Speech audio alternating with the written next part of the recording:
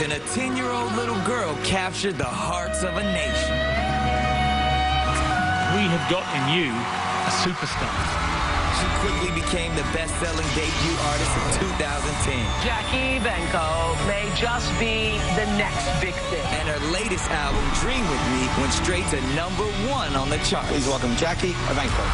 Now she makes a return to where it all began just one year ago.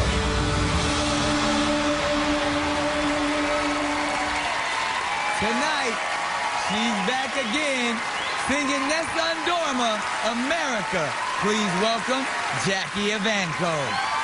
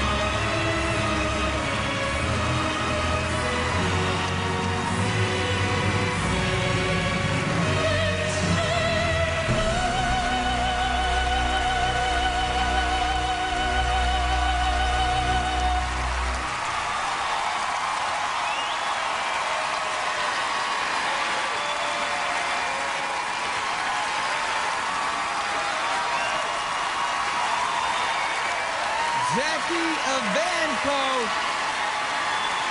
Wow. Incredible. Amazing. Good to see you. You you've gotten so tall. I mean, you've had an incredible year. Tell me what you've been up to.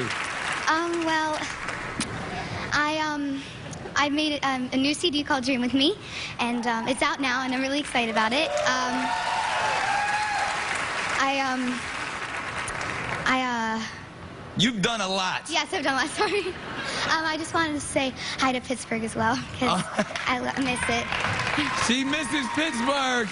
And coming up, you know, the dream of stardom becomes a reality for one of our top two finalists after the break. Jackie Evancho